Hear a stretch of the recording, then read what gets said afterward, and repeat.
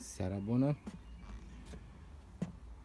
Grădinuța mea cu multă hrană pentru flori uh, și verdețuri.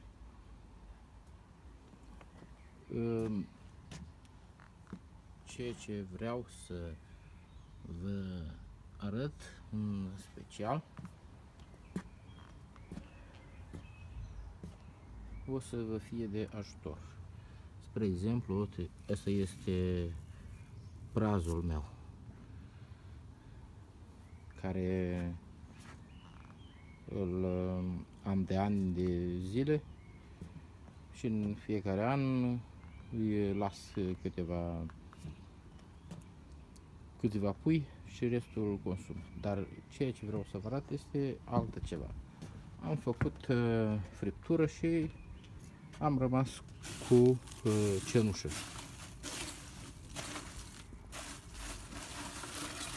Da. Uh, în zona aici avem uh, mulți melci. Știu, știm că melcii uh, fug de cenușă. Și în afară că melcii fug de cenușă, cenușa este este foarte bună pentru flori, conține fosfor și alte ingrediente necesare creșterii florilor și a verdețurilor. Ce trebuie făcut? Selectez ce este mare și dau de o parte. Da?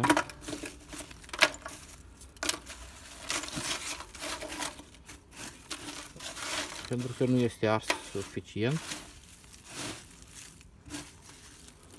Și cu siguranță la următoarea dată când voi face focul va arde.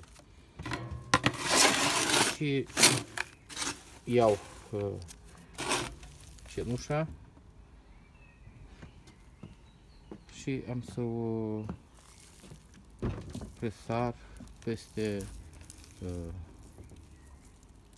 flori. Cu siguranță la prima ploaie să, să nu se va mai cunoaște e, nimic.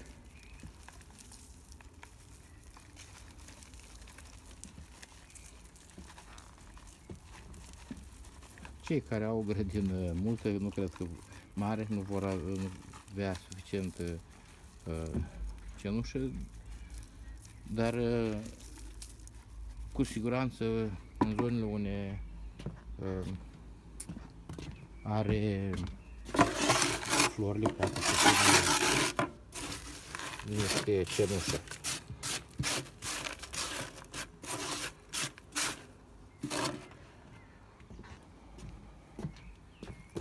Și exact cu cenușa care o am, voi acoperi toată uh, porțiunea asta, peste ghiocei nu dau, că încă sunt frumoși.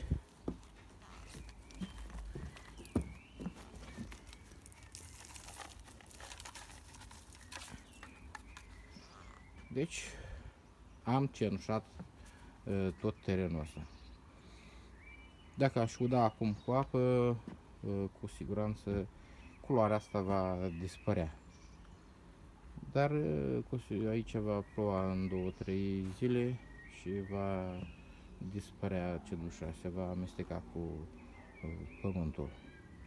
Dar cum am spus, e necesar pentru plante.